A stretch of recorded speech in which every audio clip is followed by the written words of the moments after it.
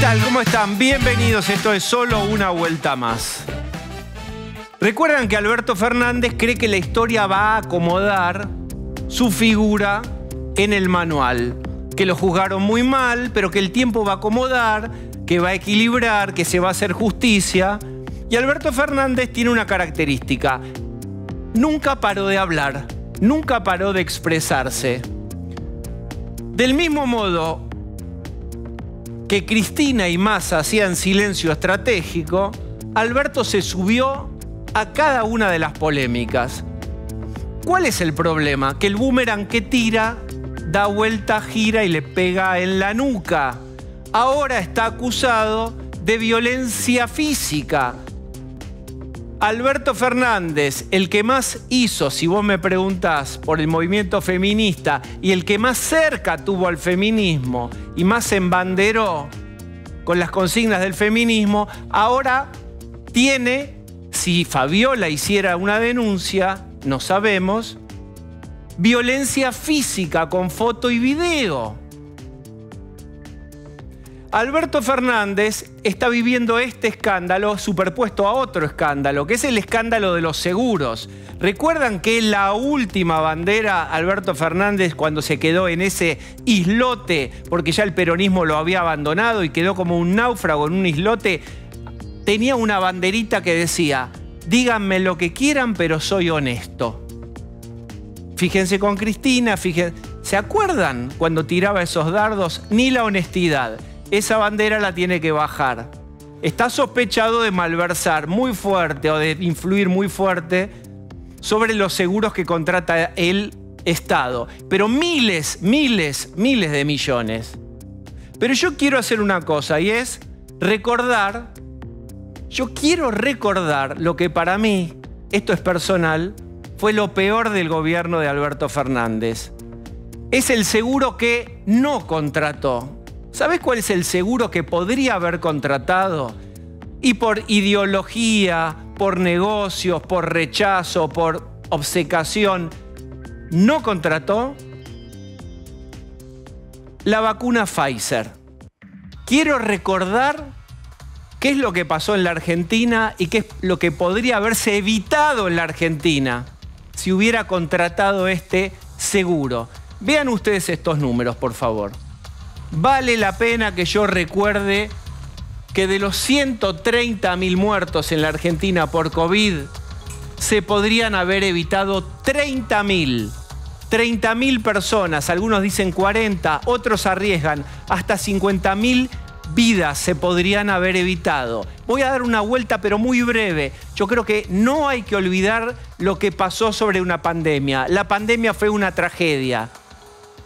Lo importante es qué hacen las personas con una tragedia que te viene. Bueno, te voy a contar lo que no se hizo. Sigamos adelante, por favor. Mira, la vacuna Pfizer, vos me decís, pero esto me da viejo, ¿no? Hay gente enterrada, muerta, quizás tenés familiares que tienen que ver con esto. La vacuna estaba lista en diciembre del 2020. La Pfizer la tenía lista. La primera dosis se iba a aplicar el mismo día que en Estados Unidos. 14 de diciembre del 2020, en Nueva York, una enfermera es la que recibe en su brazo la primera Pfizer. ¿Qué tenía arreglado Pfizer por hacer la prueba en el hospital militar? ¿Cuál era el convenio que le ofrecieron en bandeja al gobierno argentino de Alberto Fernández? En el mismo momento que la enfermera se aplica en Estados Unidos, Nueva York, la Pfizer, la primera histórica, en otro brazo, un médico argentino en el mismo momento se va a estar aplicando la Pfizer. ¿Y sabes qué? 500.000 personas del sistema de salud iban a tener dos vacunas. Iban a estar protegidos. La red que te iba a proteger a los pacientes cubierta con dos Pfizer, un millón de vacunas disponibles. Estaba todo listo. ¿Por qué no se hizo? Lo que pasa es que Pfizer pide glaciares, pide las cataratas, son cláusulas secretas, es muy cara. ¿Es muy caro un seguro? ¿Cuánto vale un bote salvavidas en el naufragio? Lo que te pidan, ¿no? Bien, veamos unos elementos más con números. En el primer trimestre del 2021 estuvieron listas 12 millones de dosis, de dosis Pfizer para personas mayores de 65. Pfizer las tenía listas, 12 millones, 65 años y, y, arriba. Nunca llegaron. ¿Por qué no llegaron? Porque alguien las obstruyó. ¿Por qué las obstruyeron? Porque venían otras de otra marca, de otro laboratorio más afín. ¿Ustedes se acuerdan los balbuceos del kirchnerismo y del albertismo no nato en ese momento para justificar la pirueta de por qué la Pfizer no venía?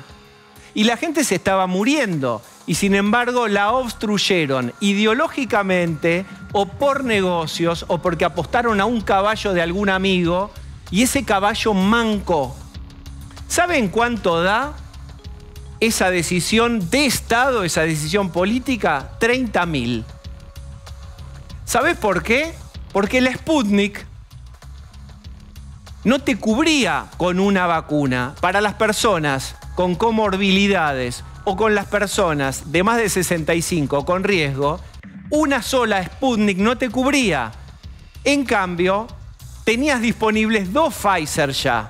No vinieron por la obsecación del gobierno de Alberto Fernández. Yo no voy a dar los detalles que están circulando y que se conocen porque son una barbaridad y no se puede creer que eso fue una política de Estado. Vean esto, finalmente. Entre diciembre del 2020 y mediados del 2021 llegó la segunda ola de COVID. Ahí murieron 30.000 personas mayores de 65 y algunos del sistema médico. Recuerden, ya sé que es horrible recordar el COVID, pero esto fue una decisión de política de Estado que generó muertos que podrían haberse evitado completamente. Y cierro con esto. ¿Ustedes recuerdan de qué modo sí entró la Pfizer? Cuando chicos con alguna condición especial, neurodiversos, con problemáticas súper específicas, no les servía la vacuna, ni la Sputnik, ni todas esas. ¿Recuerdan? En ese momento fue un escándalo, los padres fueron al Congreso y rompieron la membrana de prejuicios o de negocios que había y que impedían que llegara la Pfizer. En ese momento llegan esas Pfizer pediátricas primero para cubrir a toda esta población tan vulnerable y atrás ya no hubo más remedio que aceptar la Pfizer. Eso es lo que se podría haber evitado.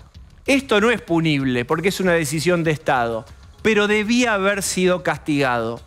En la memoria colectiva no debemos olvidar que una decisión de Estado caprichosa o interesada privó de que la Argentina fuera pionera en la cobertura de vacunación del COVID.